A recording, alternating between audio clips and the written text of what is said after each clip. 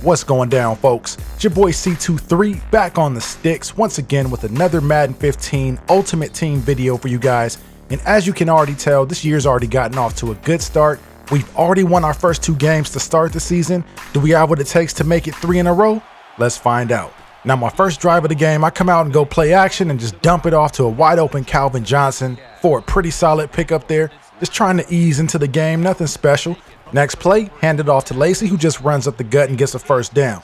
So it's a first and 10. I take the snap under center, hit Julio Jones and stride on the slant play. And on second and one, I give it to Lacy again, who picks up the first down. So this drive is moving, folks. I come out and I'm establishing rhythm pretty early here, continuing to mix up the run and the pass, trying to keep my opponent off guard. And whenever you get in rhythm like this, it just seems like everything opens up and just works.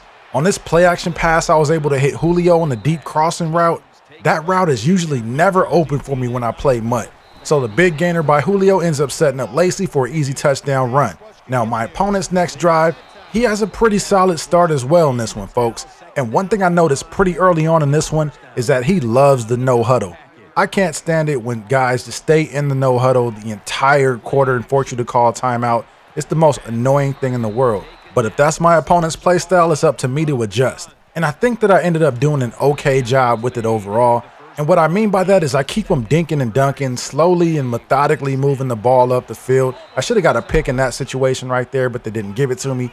Bringing up a second and 10, he hands the ball off and goes just about nowhere with it. Think he's actually using Doug Martin as his running back. I've never played anybody that uses Doug Martin as their back, but but hey, that's on him. So on third and seven, he drops back and he hits his back in the flat who runs out of bounds with it, bringing up a fourth and five. So I'm like, okay, if I can get him off the field in this situation, we'll be good, right? Not exactly. We do force him to turn the ball over on downs, but after three quick incompletions, we give him the ball right back. And he's just about in business where he was a second ago on the last drive.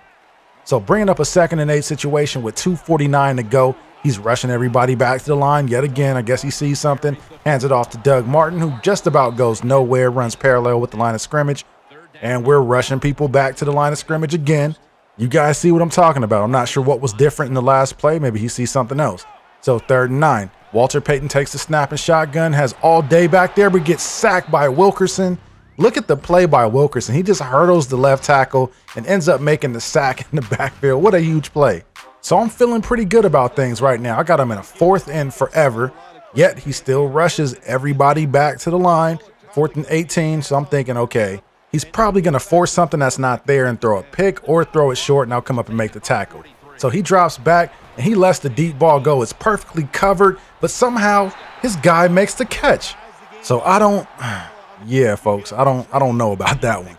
So we're tied, seven to seven. I take the snap and I'm immediately put under pressure Good thing I pressed the pass button right as contact was made because I could have fumbled that one up. So on second and 10, I'm looking downfield and I hit Calvin Johnson. He picks up the first and runs out of bounds. So on first and 10, I go play action and I just dial up the deep ball. You already know Alshon is wide open in between two DBs. We'll take that easy score. Let's go 14-7. My opponent's next drive, he throws it right to Luke Kuechly. Now, normally I'd celebrate that a little bit more in my commentary, but check out what I do on my very next play. I just predetermined before the snap that that receiver was going to be open, and I just threw it without looking, and I paid the price for it, folks. Got to pay attention to your receivers and make sure they're actually open before you throw them a dang ball.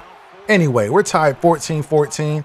Looking to capitalize on the field position, I hit Julio Jones with the slant, moving the chains, we're inside the 20. I hand off to Lacy, and Lacy just runs over a dude. Oh my goodness. He's just still on his back after the play is over.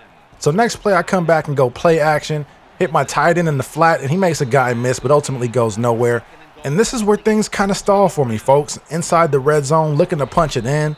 Oh, so close, but yet so far. I come out and go third and three shotgun. Try to go wide out screen, but he has that covered. So it forces me to three. I hate settling for three, especially when I'm that close to a touchdown. Hopefully that doesn't come back to bite us as we're this late in the game. He hands it off to Martin for a nice gain on the run. Again, Martin gets the run, has a blocker in front of him, but fumbles the ball, but they recover it. A fumble recovery there would have been a game changer, folks. So his next play, he has tons of time back there, but has no one open and just gets rid of it. Bringing up a second and 10, he's in the shotgun, takes the snap, looking downfield, lets it go, and almost throws a pick. That should have been picked off by Lewis, who's in perfect position on the play. Third and 10, He throws it in the coverage, but somehow his wide receiver is still able to make the play in between two defenders. So on fourth and one, he's rushing everybody back to the line. I'm expecting a run here or something short. So I bring my DBs up. He snaps the ball, and look at the block shed by Mean Joe Greene. Ugh, that was nasty. So after taking over on downs, I just hand the ball off to Lacy just to milk the clock.